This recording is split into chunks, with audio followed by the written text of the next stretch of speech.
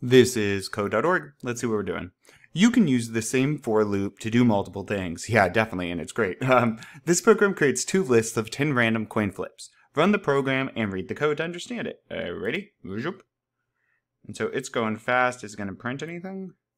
You can see I counting. Oh, we got one list. Yep, two lists. All right, let's explain. So what's it doing here? And I can do it, print it, have it run through slower if you want we have two empty, eh, it doesn't matter, I can tell you. We have two empty lists. Flips one, two, oh, we have three empty lists and three. So we then hit this line of code. For i, that's going to be our counter. i is set equal to zero. i must always be less than 10. i plus plus. So what this says is start at zero. Okay, we'll start at zero. Is zero less than 10? Yes, zero is less than 10. Zoop. We're going to run the code inside then. Okay, append to list one, flips one, this guy a random number 0 or 1. The computer spits back a random number. Okay, 1. Slap! And we push it into this list. So now flips 1 has a uh, 1 in it, right? Or a 0, whatever pops up. Next, boom. Append to list 2, list 2. Okay, yes. A random number 0 or 1. Okay.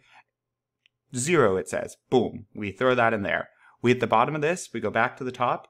i was equal to 0 when we started, so we now need to do i equals i plus 1. So i plus plus so now i was 0, it is now 1. Is 1 less than 10? Yes. And we keep going then. We add another random number pushed in, another zoop, zoop. 1 plus plus, so 1 plus 1 is 2. Is 2 less than 10? Keep going. Another, another zoop is 3 less until they have fully filled lists of 10. Boom, and then we print them out. All right.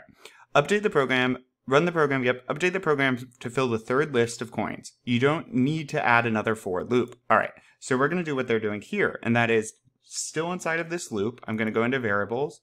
I'm looking for append, which means to add to the end of a list or to the end of an array.